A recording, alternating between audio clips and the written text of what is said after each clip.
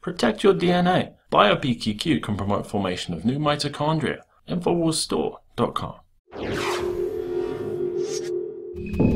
The very good news is that we see that this river is restoring itself, that we see those numbers shifting, but the major risk issue relative to this spill is what's in that water column and how do I continue to make sure that that water column is beginning to restore itself. We are seeing that happening already. So that was the country's top environmental official saying that just one week after toxic sludge was dumped into a river, turning it a hideous shade of orange, saying that this the river is now restoring itself just one week later.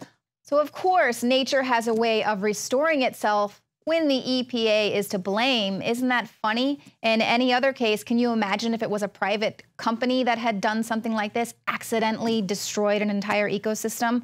Um, you'll recall the EPA said that the BP oil spill in the Gulf would take decades um, for, for it to be not affecting the fishing. And then they levied heavy sanctions against BP. I think there were billions of dollars in fines. They were barred for years from federal contracts, but you know the the the EPA, they're okay. You know, they're they're being held accountable for this. This is also the same agency that said cow farts. Cow farts are going to destroy humanity because of global cooling. I mean, global warming, or I'm sorry, climate change. Cow farts, right? But now they're saying an estimated 3 million gallons of toxic sludge contaminated with heavy metals, including lead and arsenic, dumped into this water accidentally oh, everything is going to be fine. So fine, in fact, that the governor there in Colorado, Governor Hickenlooper, took a bold swig right out of the river water. So, of course, here just trying to let everyone know it's completely safe. New Mexico has not deemed it safe for drinking, but that guy's an animal. But let's go back to this article. So, they say that there are still concerns about the river basin sediment, which basically these absorbed contaminants from the spill could be released back into the river during stormy weather in the future.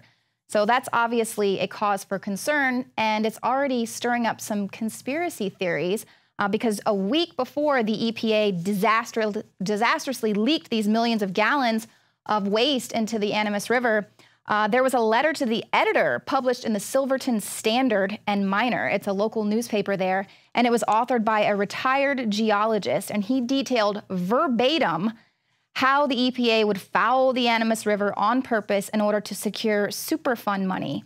So this is a geologist, Dave Taylor, and he predicted that the EPA's plugging plan uh, would ultimately fail, and then the agency would likely use the failure to seek super funding.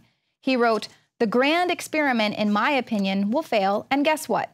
The EPA representative will say then, gee, Plan A didn't work, so I guess we'll have to build a treatment plant at a cost to taxpayers of 100 to 500 million dollars.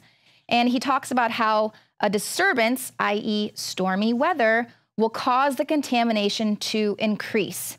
Um, he also says if the gold, the nearby Gold King mine was declared a Superfund site, it would not only mean buku bucks for the EPA, but it would essentially kill any future developments for the mining industry in the area. So here he is predicting verbatim what was going to happen. A week later, it goes on to happen.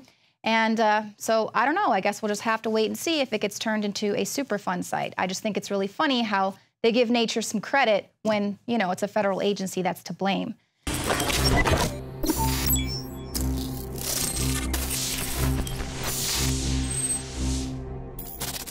I began to get into iodine a few years ago because it was helping me and my family so much get healthy and detoxify. I believe our research is conclusive. This is the best iodine out there. And I know this for a fact. Nobody else has got iodine based on these pure crystals, ladies and gentlemen. For a limited time, experience the ancient power of Survival Shield X2. Take advantage of this unprecedented 30% off Super Detox Special at InfoWarsLife.com.